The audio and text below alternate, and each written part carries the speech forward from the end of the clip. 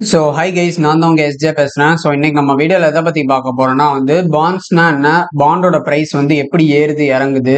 So coupon ரேட்னா என்ன? அப்புறம் bond ஈல்டுனா என்ன? ஸோ இதெல்லாம் பத்தி தான் பார்க்க போறோம். ஸோ கூப்பன் ரேட்னா ஒன்றும் இல்லை அந்த பாண்டோட இன்ட்ரெஸ்ட் ரேட் ஸோ அதுதான். ஸோ வீடியோக்குள்ள போறதுக்கு முன்னாடி பாத்தீங்கன்னா நான் வந்து பர்சனலாக வந்து ட்ரேடிங் டீச் பண்ணிட்டு இருக்கேன். ஸோ என்ன மென்டர்ஷிப் கோர்ஸ்ல நீங்க ஜாயின் பண்ணணும்னு வச்சீங்கன்னா ஸ்க்ரோலிங்ல போட நம்பர் கால் பண்ணி நீங்க டீடைல்ஸ் வாங்கிக்கலாம். நான் மொத்தமாக வந்து ஒரு செவன் கோர்சஸ் எடுக்கிறேன். உங்களுக்கு அந்த கோர்சஸில் வந்து எந்த டவுட்னாலும் நீங்கள் மெசேஜ் கேட்டுக்கலாம். டைம் டியூரேஷன் வந்து if you feel is it is lower for the money you pay அந்த மாதிரி உங்களுக்கு தோணுச்சுன்னா வந்து நீங்கள் கேட்டுக்கலாம். ஸோ அதுக்கேற்ற மாதிரி நான் அட்ஜஸ்ட் பண்ணிப்பேன். ஸோ இப்போ நம்ம வீடியோக்குள்ள போகலாம் ஸோ பாண்ட்ஸ்னா என்னன்னு பார்த்தீங்கன்னா bond is a fixed income dept instrument R dept security issue to the investors to rice money from them அது வந்து கடன் பத்திரம். கடன் பத்திரத்தை தான் வந்து பாண்டுன்னு சொல்றோம். இப்போ ஒரு கவர்மெண்ட்டுக்கு வந்து கடன் தேவைப்படுதுன்னா அது வந்து பாண்டை ரிலீஸ் பண்ணிட்டு இன்வெஸ்டர்ஸ் வந்து பணம் வாங்கிக்கலாம். பேங்க்கோ இல்லை இன்வெஸ்டர்ஸோ யார்கிட்ட இருந்து வேணாலும் அது பணம் வாங்கிக்கலாம். அதுக்கு வந்து அது ஒரு இன்ட்ரெஸ்ட் பே பண்ணும்.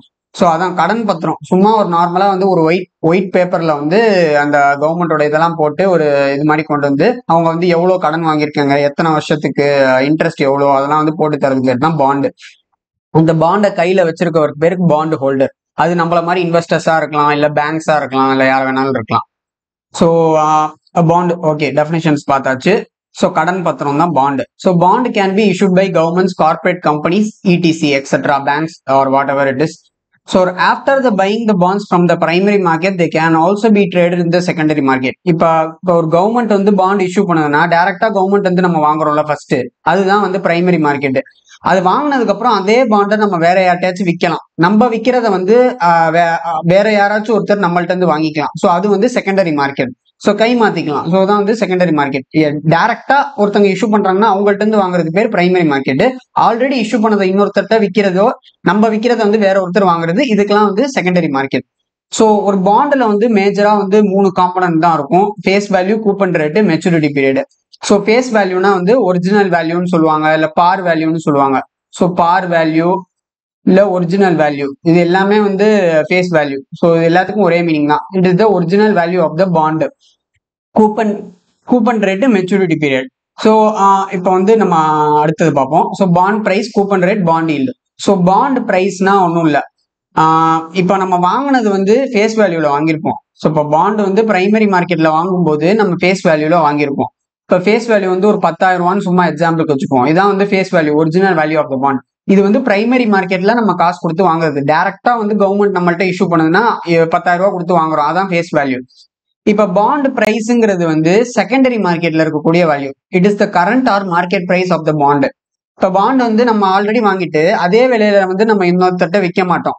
அந்த பாண்டுக்கான டிமாண்டுக்கு ஏத்த மாதிரி அதிக விலையிலயோ இல்ல கம்மி விலையிலயோ நம்ம வந்து இன்னொருத்தட்ட விற்போம் ஸோ அதுதான் வந்து demand of the bond so நம்ம அதிக விலையில விற்கிறோம்னா அதுக்கேற்ற டிமாண்ட் இருக்கணும். டிமாண்ட் இல்லாட்டி நம்ம அதிக விலைக்கு விற்றா யாருமே வாங்க மாட்டாங்க.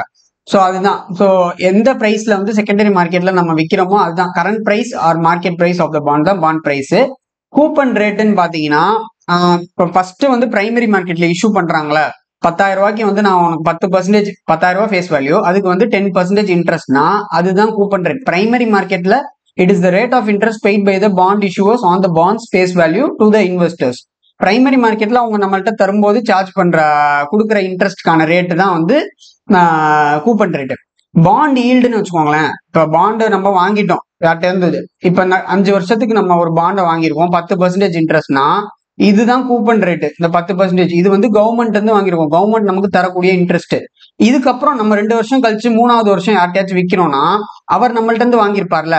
ஸோ அவர் வந்து கம்மி விலையில கூட வாங்கியிருக்கலாம். ஸோ அந்த கம்மி விலையில அவர் வாங்கியிருந்தா அவருக்கான இன்ட்ரெஸ்ட் வந்து வேறையா இருக்கும். இந்த பத்து பர்சன்டேஜா இருக்காது. அது ஒன்று டென் பாயிண்ட் ஃபைவ் ஆர் இருக்கும். அப்படி இல்லாட்டி நைன் பாயிண்ட் எயிட் அந்த மாதிரி இருக்கும். ஸோ இதுதான் வந்து பாண்ட் ஈல்டு ஸோ கூப்பன் ரேட்டுக்கும் பாண்ட் ஈல்டுக்கும் உள்ள வித்தியாசம் இதுதான். ஸோ இது நம்ம பார்த்துக்கணும். நான் வந்து எக்ஸ்பிளைன் பண்றேன். இந்த வீடியோவில் லேட்டராக வந்து நான் எக்ஸ்பிளைனும் பண்ணுவேன்.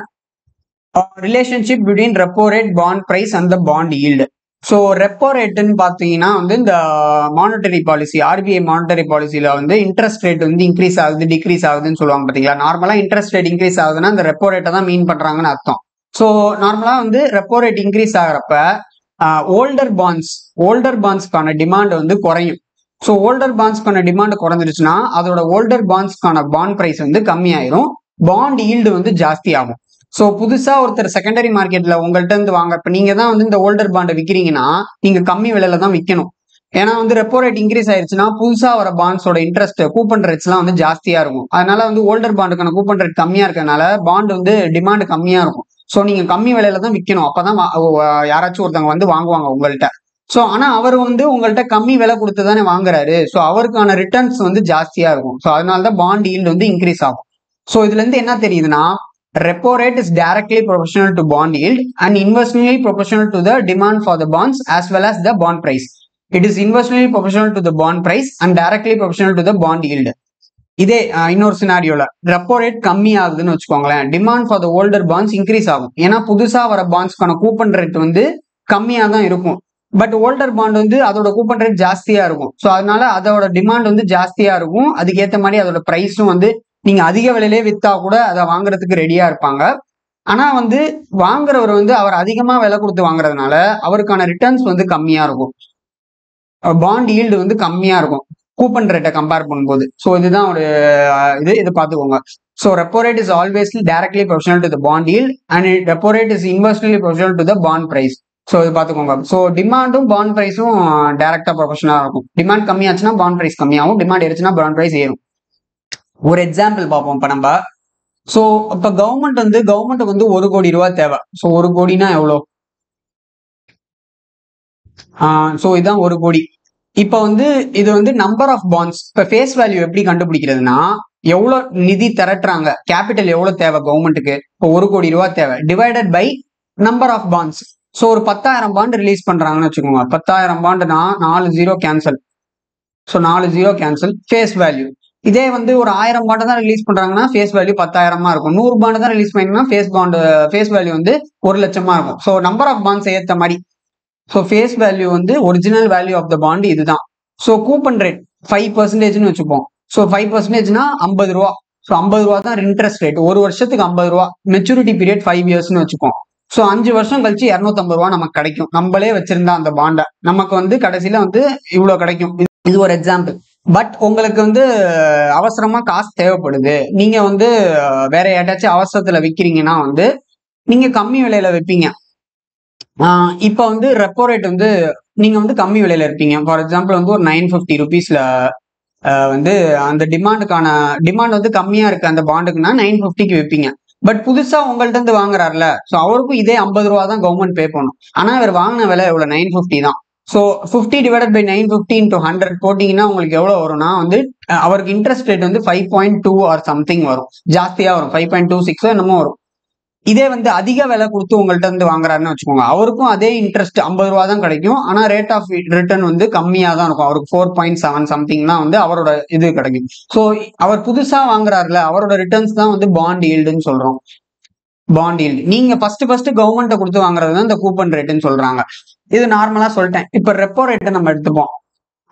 இப்ப ஏன் இந்த பாண்ட் நைன் ஃபிஃப்டிக்கு போகுது தௌசண்ட் ஃபிஃப்டிக்கு போகுது? இது எப்படி இதோட பாண்டு விலை குறைஞ்சிச்சு ஏறிச்சுன்னு பாத்தீங்கன்னா இப்ப வந்து ஃபர்ஸ்ட் ஃபர்ஸ்ட் கவர்மெண்ட் விடுது ஃபைவ் பர்சன்டேஜ் கொடுக்குது.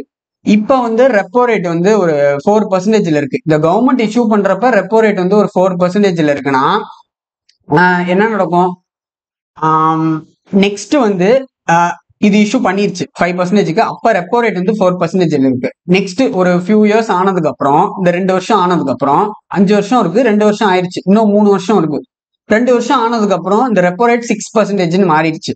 ஸோ அப்ப என்ன அந்த ஓல்டர் பாண்டுக்கான கூப்பன் ரேட் வந்து கம்மியா இருக்கு. ஸோ புதுசா வர பாண்டுக்கெல்லாம் இன்ட்ரெஸ்ட் ரேட் வந்து ஜாஸ்தியா இருக்கும். அந்த கூப்பன் ரேட் வந்து six point two six point five அந்த மாதிரி இருக்கும். ஸோ அந்த ஃபைவ்க்கு மேலே ஜாஸ்தியாக இருக்கும். அட்லீஸ்ட் இந்த ஃபைவ்க்கு மேலே ஜாஸ்தியாக தான் இருக்கும். அதனால புதுசாக வர பாண்டில் தான் இன்வெஸ்ட் பண்ணணும்னு இருப்பாங்க. உங்க பழைய பாண்டை சப்போஸ் நீங்க விற்கணும்னு நினைச்சீங்கன்னா கம்மி விலையில வித்துன விற்றாத மட்டும்தான் வாங்குவாங்க ஆட்கள். ஸோ அப்போதைக்கு நீங்க கம்மி விலையில தான் விற்கணும் ஸோ அந்த மாதிரி பட்சத்துல வந்து இந்த தௌசண்ட் ருபீஸ்க்கான பாண்டை வந்து நீங்க நைன் ஃபிஃப்டிக்கு விற்கிற மாதிரி இருக்கும். ஸோ அவருக்கு வரக்கூடிய uh, ஈல்டு வந்து ஜாஸ்தி ஆகும் அப்போ. ஸோ ஏன்னா வந்து அவர் கம்மியாக கொடுத்து வாங்குறாரு. இதே ரெப்போ ரேட் சிக்ஸ் பர்சன்டேஜ்ல இருந்து மறுபடியும் ஒரு த்ரீ பர்சன்டேஜ் குறைஞ்சிருச்சுன்னு வச்சுக்கோங்க. ஒரு ஃபோர்த் இயர்ல த்ரீ நாலு வருஷம் ஆகும்போது அஞ்சு வருஷம் மெச்சூரிட்டி ஆகல. ஃபோர் ஃபோர்த் இயர் வரும்போது த்ரீ த்ரீ பர்சன்டேஜ் குறைச்சிட்டாங்கன்னா அப்ப வந்து இந்த கூப்பன் ரேட் வந்து ஜாஸ்தியா இருக்கு பாத்தீங்களா? ஸோ வந்து ஓல்டர் பாண்டுக்கான கூப்பன் ரேட் வந்து ஜாஸ்தியா இருக்கும்.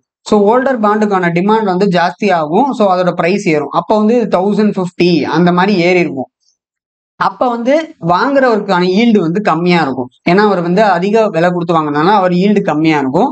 ஸோ இதுதான் ஒரு ரீசன் ஸோ இப்படி தான் வந்து ஒரு ரெப்போ ரேட் ஏறுறதுனால அந்த பாண்டு ப்ரைஸ் குறையும். டிமாண்ட் ஃபார் த பாண்டு குறையும். ஸோ பாண்ட் ப்ரைஸ் குறையுது. பாண்ட் ஈல்டு ஏறுது. Repo rate குறையிறதுனால demand for the bond older bonds வந்து ஏறுது. பாண்ட் ப்ரைஸ் ஏறுது. பாண்ட் ஈல்டு குறையுது.